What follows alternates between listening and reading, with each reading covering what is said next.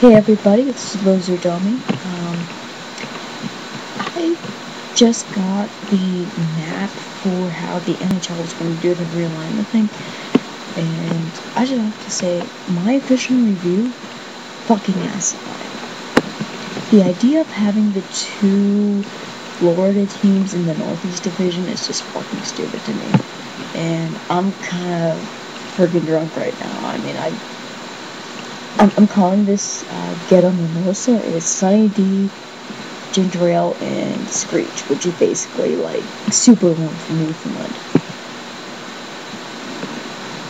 So anyway, the idea of having a division of the Northeast, which is the current Northeast Division, you know, I'm okay with that.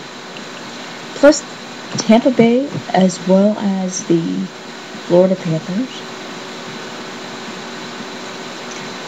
and in that there's the, there's still the uh, some fourth some other division that contains the two New York teams, the two Pennsylvania teams, uh, the New Jersey Devils, Carolina, and I'm blanking on the seventh team, but it's basically it's like it's a bunch of teams that are in between where the rest of the Northeast is, and then Florida give the Northeast the two New York teams. Give it Islanders and New Jersey Devils just so you can do the whole Subway Series thing.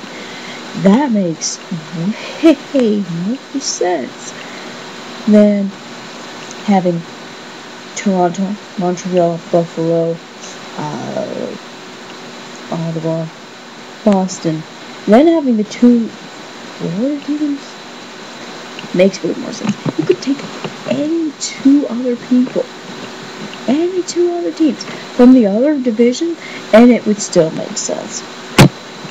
And I'm saying this not just because I might end up moving down to Tampa Bay with my Tampa Bay Lightning fan boyfriend. I mean, although that that is a that's a factor. I don't want my dating relationship to be an a bad position. I think we've all kind of agreed that, I think we've all kind of agreed that interdivision dating is kind of an abomination in the eyes of whatever power you believe in. So,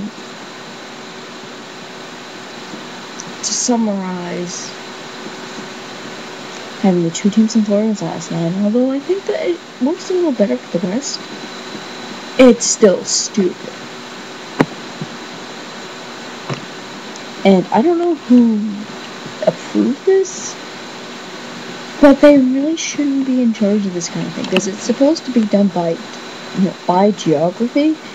That's bullshit. There's no way this is done by geography. So in summary, fuck the realignment. It's stupid. And go Leafs go.